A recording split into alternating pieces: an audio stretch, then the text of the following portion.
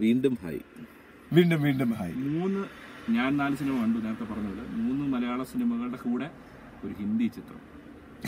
അതും സൽമാൻ ഖാൻ. സൽമാൻ ഖാൻ കുറെ നാളുകളായി നമ്മളെ വെറുപ്പിച്ചുകൊണ്ടിരുന്നതാണ്. കഴിഞ്ഞ കുറച്ച് സിനിമകളായിട്ട് വലിയ കുഴപ്പമില്ല. അഭിനയിക്കുന്നുണ്ട്. ഈ സിനിമ കണ്ടപ്പോഴും നമ്മൾ പ്രതീക്ഷിച്ചാണ് പോയത് ഇങ്ങനെ തന്നെ ആയിരിക്കും സൽമാൻ ഖാൻ അഭിനയിക്കുക ഇങ്ങനെയുള്ള കാര്യങ്ങളൊക്കെ ഉണ്ടാവും. പക്ഷെ കുറച്ചുകൂടെ പോളിഷ്ഡ് ആക്ടിംഗ് ആണെന്ന് എനിക്ക് തോന്നി. കാര്യം ഷാറൂഖ് ഖാൻ കഴിഞ്ഞ സിനിമയിൽ നമ്മളെ വെറുപ്പിച്ചതുപോലെ സൽമാൻ ഖാൻ ഈ സിനിമയിൽ നമ്മളെ വെറുപ്പിച്ചിട്ടില്ല. പിന്നെ സ്റ്റോറി ലൈൻ എന്ന് പറഞ്ഞു കഴിഞ്ഞാൽ കുറച്ച് ലാഗ് ഉണ്ട്. ഇവർ രണ്ടുപേരും ആദ്യമേ പറഞ്ഞു കുറച്ചുകൂടെ പേസ് ഉണ്ടായിരുന്നുണ്ടെങ്കിൽ ആ സിനിമയ്ക്ക് കുറച്ചുകൂടെ ഒരു ഒരു പുഷ് കിട്ടിയത് സി ഒരു ആക്ഷൻ ഫിലിം പ്യോർ ആക്ഷൻ ഫിലിമാണ് നമ്മുടെ ടൈഗർ സിന്ധ എന്ന് പറയുന്നത്. പക്ഷേ ഒരു ആക്ഷൻ ഫിലിം കാണുമ്പോഴുണ്ടാവുന്ന ഒരു ത്രില്ലർ മൊമെന്റ്സ് കുറവായിരുന്നു. ഇല്ല ഐ മീൻ സെക്കൻഡ് ഹാഫിലൊക്കെ കുറച്ചൊക്കെ ഉണ്ട് എനിക്ക് തോന്നുന്നു ആ മറ്റേ ആ നഴ്സസിന്റെ ഇൻസിഡന്റ് ബേസ് ചെയ്തെടുത്തത് കാരണം അവർക്ക് ആ ഒരു സർക്കിളിൽ നിന്ന് മാത്രമേ കാര്യങ്ങൾ ചെയ്യാൻ പറ്റുള്ളൂ എന്നുള്ള ഒരു ലിമിറ്റേഷൻ ഉണ്ടായിരുന്നിരിക്കും.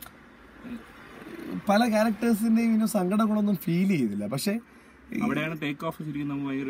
എക്സാക്ട്ലി സെയിം കഥയാണ്. പക്ഷെ രണ്ടും കംപ്ലീറ്റ്ലി ഡിഫറെന്റ് ഒന്ന് ഇതിൽ സൽമാൻ ഖാന്റെ മറ്റേ ഹീറോയിസം ബൂസ്റ്റ് ചെയ്യുന്നു. നമ്മൾ ഇന്നലെ മാസ്റ്റർ പീസ് കണ്ടല്ലോ. സല്ലു ഇടിക്കുമ്പോൾ അവന്റെ ഇടി കൊണ്ട് തെറിച്ചു ബോളിവുഡിൽ നമുക്കത് പറയാൻ പറ്റില്ല. മലയാളം മൂവി ഇൻഡസ്ട്രിയിൽ അങ്ങനെ ഇടിച്ചു കഴിഞ്ഞാൽ നാണം കെടും. പക്ഷെ ഇടിച്ചു ചെയ്യും. സൽമാൻ കഴിഞ്ഞ പത്ത് വർഷങ്ങൾ അങ്ങനെ തന്നെ അടിച്ചോണ്ടിരിക്കും നമ്മൾ ഓർക്കേണ്ട ഒരു കാര്യമുണ്ട്. ഇപ്പൊ നമ്മൾ മമ്മൂട്ടി അല്ലെങ്കിൽ നമ്മുടെ നടന്മാരെ പക്ഷെ സൽമാൻ ഖാന്റെ അത്ര ശരീരവും ആരോഗ്യമൊക്കെ ഉള്ള ഒരാൾ ഇടിച്ചു കഴിഞ്ഞാൽ തെറിക്കുമെന്നുള്ളത് കുറച്ച് സത്യം പറഞ്ഞു കഴിഞ്ഞാൽ.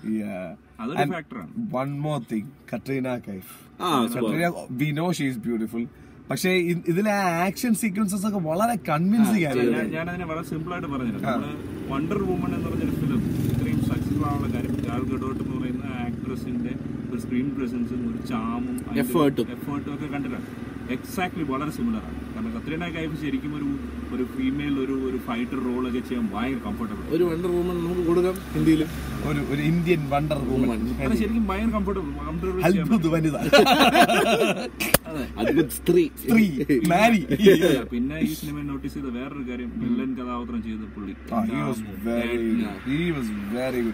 ഒരു ഒരു ഗിമ്മിക്സും ഇല്ലാതെ ഒരു ഇമോഷൻസും ഇല്ല. സ്റ്റെയർ ആണ്. ഗോൾഡ് സ്റ്റെയർ നമുക്ക് ശരിക്കും വല്ലാതെ തോന്നും. മാത്രമല്ല ഇപ്പോ വില്ലൻ വന്ന് സംസാരിക്കുമ്പോഴത്തേക്കും വില്ലൻ ക്രൂരനായിട്ടല്ല സംസാരിക്കുന്നത്. ഈവൻ ആ പരിചയമില്ലാത്ത ആൾക്കാർ ഓക്കെ നമ്മുടെ ഗസ്റ്റ് ആണ് എന്നൊക്കെ പറയുന്ന പോലത്തെ രീതിയിൽ സംസാരിക്കുന്നു. പക്ഷെ ഓരോ തവണ അയാൾ ഇങ്ങനെ അനങ്ങുമ്പോഴും നമ്മൾ വിചാരിക്കുന്നത് ക്രൂക്കഡ് ബ്രില്യന്റ് കാൽക്കുലേറ്റഡ് മൂവ്സ്. അത് പുള്ളിക്കാരുടെ ബോഡി ലാംഗ്വേജിലും മുഖത്തും കാണാനുണ്ടായിരുന്നു അല്ലേ? And even looks wise he was spot on ആ ആണ്. കാരണം നമുക്ക് ബിൻലാദൻ അങ്ങനെയുള്ള ആളുകളെയൊക്കെ നമുക്ക് ഭയങ്കര ചെറു ഇവിടെ എല്ലാവരും ട്രോളൊക്കെ ചെയ്ത് ഹിലേരിയസ് കഥ പക്ഷേ ഇത് അങ്ങനെയുള്ള ഒരു വില്ലനെ അല്ല. അല്ല അല്ല പുള്ളി ശരിക്കും ഡെഡ്ലിയാണ് കാരണം പുള്ളി ഈ പറഞ്ഞ വളരെ സൈലന്റ് ആയിട്ട് വിഷ്ണു പറഞ്ഞ പോലെ എല്ലാവർക്കും വളരെ ഫ്രണ്ട്ലി ആയിട്ട് പെരുമാറിയിട്ട് പുള്ളി എന്താ ചെയ്യുന്നത് ആർക്കും പ്രഡിക്റ്റ് ചെയ്യാൻ പറ്റില്ല ആ ഒരു അവസ്ഥയാണ് എനിക്ക് തോന്നുന്നു ഈ ആ വില്ലനാണെന്ന് തോന്നുന്നു ആ സിനിമയ്ക്ക് ഒരു വലിയൊരു ബാലൻസും കുറച്ചൊരു വാച്ചബിലിറ്റി ഒരു ഫാക്ടർ കൊടുത്തത് അല്ലെ? മൊത്തം സിനിമ ഒരു ബോളിവുഡ് സിനിമ എന്നുള്ളതിനേക്കാൾ ഒരു കുറച്ചും കൂടി ഒരു ഹയർ ലെവലിൽ ഫീൽ ചെയ്യും പലയിടത്തും. ആ നമ്മുടെ ഈ ഒരു ഹോളിവുഡ് റേഞ്ചിലോട്ട് മാറി. മേക്കിങ്ങിന്റെ ഒരു സാധനം അതിനകത്ത് ഭയങ്കര എഫക്റ്റീവ് ആയിട്ട് ചെയ്തിട്ടുണ്ട്. അപ്പോൾ എനിക്കൊന്ന് എന്താണ് അലി അബ്ബാസ് സഫർ എന്ന് പറഞ്ഞ ഡയറക്ടർ ആണെന്നാണ് എനിക്ക് തോന്നുന്നത്. പുള്ളി സോറി തെറ്റാണെങ്കിൽ സോറി നമ്മളിപ്പോൾ അതിനെക്കുറിച്ച് പറയുമായിരുന്നു ആരാണെന്നുള്ളത്. കാര്യം നമുക്കങ്ങനെ പറഞ്ഞു കേട്ടിട്ടുള്ള പേരല്ല ഡയറക്ടർ പക്ഷേ ഡെഫിനറ്റ്ലി ഭയങ്കര ഇമ്പ്രസീവ് ആയിട്ടുള്ള എഫേർട്ടാണ് അത് ചെയ്തിരിക്കുന്നത്. പിന്നെ സൗണ്ട് ഡിസൈൻ ഭയങ്കര ഇൻട്രസ്റ്റിംഗ് ആണ്. കാരണം ഈ എനിക്കൊന്ന് ഈ അമ്യൂണിഷൻ അല്ലെങ്കിൽ ഇങ്ങനെയുള്ള ആക്ഷൻ സിനിമകളിൽ സൗണ്ട് ഡിസൈൻ ഒരു വലിയ ഫാക്ടറാണ് അതുമല്ല അതിന്റെ എഡിറ്റിംഗ് ആയിരുന്നാലും ശരി വളരെ നീറ്റ് ആയിട്ട് ചെയ്തിട്ടുണ്ട് മറ്റേ ഇവരെല്ലാരും കൂടെ ഗൺസ് മേളിലോട്ട് ഫയർ ചെയ്യുന്ന ഒരു ഒരു രസമുണ്ട്. കാര്യം അത് ശരിക്കും നമ്മുടെ നാഷണൽ ജോഗ്രഫിക്കോ അല്ലെന്നുണ്ടെങ്കിൽ ഡിസ്കവറി ചാനലിലൊക്കെ ഇതുപോലെ ഇവരുടെ വീഡിയോ ഫുട്ടേജ് ഒക്കെ കിട്ടിയിട്ട്. അവർ ചെയ്യുന്ന സെയിം സാധനം തന്നെ ഇവർ ചെയ്തിട്ടുണ്ട്.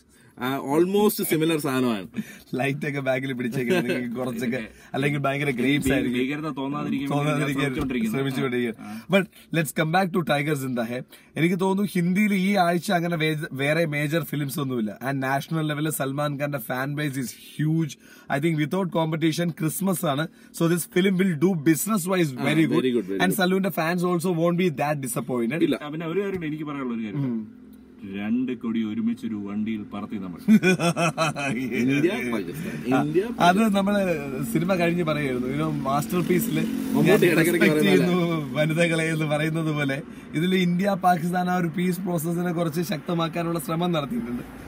Again kind of good but all in all film is okay പക്ഷേ പിന്നെ- ഒരു കാര്യമുണ്ട്. ആ ഒരു കാര്യം സോറി ഒരു കാര്യം കൂടെ പറയാനുള്ളത് പറഞ്ഞാൽ സ്റ്റോറി ലൈൻ പ്രഡിക്റ്റബിൾ ആണെങ്കിൽ കൂടെ കൂടെ ഉണ്ടായിരുന്നത്. അതായത് കത്രീന കൈഫിന്റെയും സൽമാൻ ഖാനുള്ള കാസ്റ്റ് ഒന്നും നമുക്ക് ഫെമിലിയർ കാസ്റ്റ് അല്ല. എല്ലാം ഫ്രഷ് ഫേസസ് ഗുഡ് അതെ. എക്സാക്ട്ലി അല്ലേ? അപ്പൊ അതുകൊണ്ട് തന്നെ നമുക്കൊരു സ്റ്റാഗ്നന്റ് ഫീലിംഗ് ഇല്ലായിരുന്നു സിനിമയിൽ. കാരണം കൂടെ ഉള്ളവരെല്ലാം നല്ല രസമായിട്ട് അഭിനയിച്ചിട്ടുണ്ട്. നല്ല പ്രസൻസ് ഉള്ള എ- ഈ സിനിമയുടെ ആദ്യം തോന്നിയ ഒരു സ്ലോ പേസ് എനിക്ക് പിന്നെ തോന്നിയില്ല. പിന്നെ ഏകദേശം I think we got use to that pace but the thing was നമ്മൾ വിമാനം എന്നൊരു കുറച്ചും കൂടെ ബെറ്റർ ക്വാളിറ്റി ഒരു സിനിമ കണ്ടിട്ടാണ് ടൈഗർ സിന്ധായ കണ്ടത്. സോ അതുകൊണ്ടൊന്ന് അഡ്ജസ്റ്റ് ചെയ്യാനുള്ള നമ്മുടെ കണ്ണ് പെട്ടെന്ന് ലൈറ്റ് വരുമ്പോഴത്തേക്കും അരമണിക്കൂർ കിട്ടിയ അഡ്ജസ്റ്റ് ചെയ്യാൻ സൽമാൻ ഖാന്റെ സിനിമ എക്സ്പെക്ട് ചെയ്തൊക്കെ അതുണ്ടായിരുന്നു. ശരീരം കുറച്ച് നാളുകളായിട്ട് ഷർട്ട് വരുന്നില്ലായിരുന്നു ഷട്ടൂർ വരുന്നു. അകത്തൊരു ബനിയനുണ്ട്. ബനിയനുണ്ടായിരുന്നു. ഇതിപ്പോ ബനിയനില്ലാതെ പണ്ടത്തെ ഒറിജിനൽ ഫുൾ ബസൽമാൻ ആയിട്ട് വന്നു അപ്പൊ എനിവേ എനിക്ക് തോന്നുന്നു ഹിന്ദി സിനിമകൾ ഇഷ്ടപ്പെടുന്നവരും സൽമാൻ ഖാൻ ബേസിക്കലി ഒരു നല്ല സ്ക്രീൻ പ്രസൻസ് ഉള്ള ഒരു ചാമിങ് പേഴ്സൺ തന്നെയാണ് ഓൺ സ്ക്രീൻ അപ്പൊ എനിക്ക് തോന്നുന്നു അത് അങ്ങനെ പോകുന്നവരും അതായത് വേറെ വലിയ എക്സ്പെക്ടേഷൻ ഒന്നും ഇല്ലാതെ ചുമ്മാ എന്റർടൈൻമെന്റ് എന്നുള്ള രീതിയിൽ പോകുന്നവർ ഭയങ്കരമായിട്ട് ഇഷ്ടം നേരത്തെ പറഞ്ഞല്ലോ തോക്ക് വെടി ഡാൻസ് ഫൈറ്റ് സൽമാൻ ഖാൻ ഉണ്ട് അല്ലേ? അതെ. പക്ഷെ കുറച്ചും കൂടെ അഭിനയത്തിൽ എഫേർട്ട് വിട്ടിട്ടുണ്ട്. അപ്പൊ എനിവേ തിയേറ്ററുകളിൽ പോയി. കാണുക. ഒരു സിനിമയുടെ റിവ്യൂ കൂടെ വരുന്നുണ്ട് എന്തായാലും. So wait for that and that one നമ്മൾ തമ്മിൽ കോൺഫ്ലിക്റ്റ് ഉള്ള ഒരു റിവ്യൂ വരും. Wait for that